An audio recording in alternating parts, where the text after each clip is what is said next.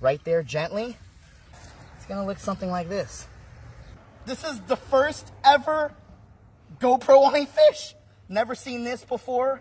Let's send this baby to the ocean. All right, fella. I hope you capture us some cool Oh, footage. okay, he's going straight out. the rod?